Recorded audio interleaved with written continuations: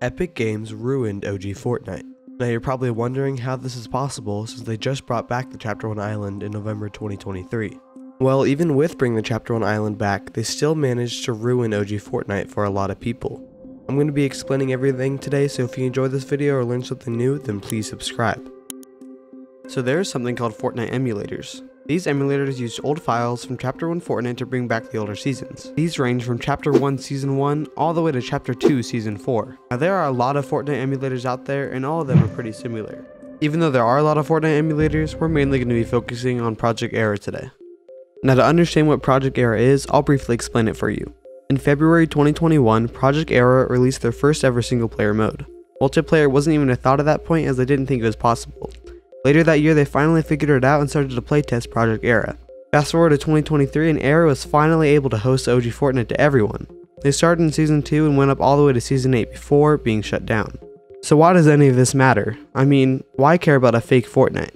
Well, let me put this in perspective for you. It's a rainy Saturday in 2018, you have absolutely no plans for the whole day, and a new Fortnite season just came out. You get to squad up with your friends and just have an amazing time. You see, this is what these Fortnite emulators brought back for a lot of people. So why exactly did Era get shut down? Well, you see, Project Era and every other project technically broke Epic Games EULA. You see, at first they allowed Fortnite projects with a few ground rules. First, they cannot profit off these projects, and I'll talk more about that in a second. And second, they are not allowed to use cosmetics or V-Bucks from the game. These are the main reasons Epic shut down Era. Now since Era made it to where people could donate to them to help run servers, this violated Epic Games EULA. Now this was a crucial part of Era since servers cost a lot of money. Now from my knowledge, Project Era tried negotiating with Epic Games, but that resulted in them setting a cease and desist, making them shut down their servers forever. Yeah, pretty sad, right? I mean, what is Epic Games gaining by shutting down these projects? Well, it's obvious that their goal is to make more money, but shutting down these projects will barely benefit them in the slightest. Now, one would argue that Era breaking Epic's EULA rules gives them the right to shut it down, and I agree with that, but just because you have the ability to do something doesn't necessarily mean you should. Epic didn't have to shut down Era, that's something they chose to do. And after this, a lot of people are saying that Epic doesn't care about the community because they shut down Project Era, but think about it, the people that played Era or the other projects are not actually a part of the Epic Games community. If they were, then they would be playing current Fortnite right now instead of Era. And although they didn't necessarily have to shut down Project Era, it doesn't matter to them because they don't care about the Era community, they care about their own. So do I think that shutting down Era was the wrong decision? Yes, but at the same time we have to go into this looking through their perspective. After Era shut down, you're probably wondering where they are today. Well, not even a day after the shutdown, they announced that they are moving to UE to make creative maps. Now, we've seen Chapter 1 creative maps before with Reboot Royale and Atlas OG Battle Royale, but those both failed. So I beg to ask the question will Era have the same fate? Currently, at the time of this recording, Era is doing Season 3 Playground mode, which is a little different than we've seen before but not even a week after they launched, they already ran into their first problem.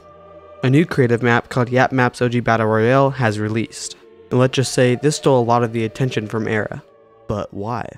I mean, what's really the difference between the two maps, and why is one more popular? Well, I might have a little idea of why this is. When Era first released their maps, they had zero hype and zero promotion, and no one knew it was coming. On the other hand, when Yap Maps created their map, they had a lot of hype because they've been promoting their map for months. And that's why I think at this time, Yap Maps is more popular, so it's not really Era's fault. So now that you know what Era is, where they are now, and why they got shut down, let's move away from them and move towards Epic Games. So now that Fortnite emulators are out of the picture, what can Epic Games do to fix their game? Well, most of you would say that they need to bring back the Chapter 1 Fortnite permanently, and although that would be good for the game, I don't think that's the right decision. I think what the game truly needs is a simpler game, we need a pretty basic map, pretty basic guns, and a good basic battle pass. And I'm not talking about having some random boring POIs, I'm talking about having locations like Retail Row, Tilted Towers, the Agency, we just need simpler stuff to make Fortnite better. As of right now, the game is so complex that it makes it a lot less fun. To change that, we should combine parts of different chapters together.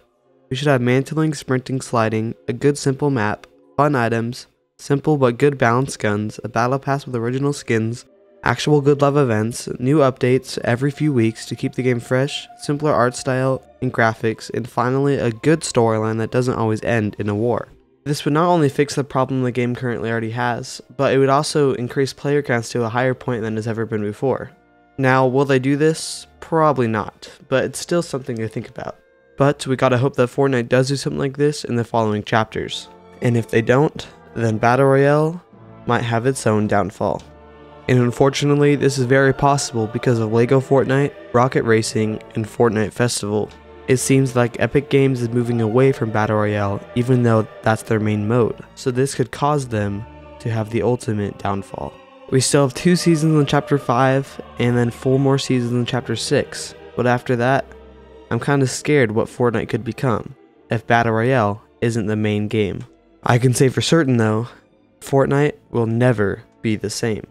So you've probably heard that Chapter 2 is coming back in November this year, and that's great, but it could be the end of Battle Royale. If players don't stick around to Chapter 6, then what's going to be left? And even though Chapter 2 is far away, when Chapter 6 comes, at least just give it a try. Because you, yes, you, could save Fortnite.